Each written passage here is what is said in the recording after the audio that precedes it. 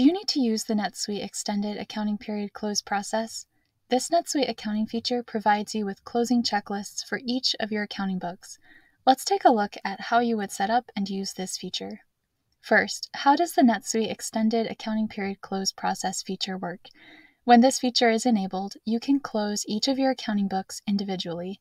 Having a closed checklist for each of your accounting books means that you can also edit your accounting books individually without impacting your other books.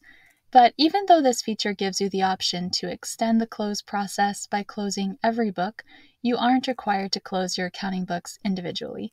Even with this feature enabled, you can still close accounting books in bulk. Let's look at the prerequisites and setup that this feature requires. In order to use the extended accounting period close process feature, you will need to have access to NetSuite's multi-book accounting features. Only accounts that use NetSuite OneWorld can have access to these features. For help with setting up your account with multi-book accounting, reach out to either NetSuite Professional Services or a third-party partner. Once you have access to NetSuite's multi-book accounting features, you'll be able to turn on the extended accounting period close process feature. You'll find this feature under the multi-book accounting section of the Accounting tab and Enable Features. Once this feature has been enabled, how would you use it? Let's take a look. The benefit of the NetSuite Extended Accounting Period Close Process feature is that you can close periods individually. To do that, you'll navigate to the Manage Accounting Periods page, Set up Accounting Manage Accounting Periods. On this page, open the Filters section and select the specific accounting book you want to close using the Accounting Book drop-down list. Once you've selected your desired accounting book, you'll go through the regular closing process using the Period Close checklist. Next, let's look at disabling the feature.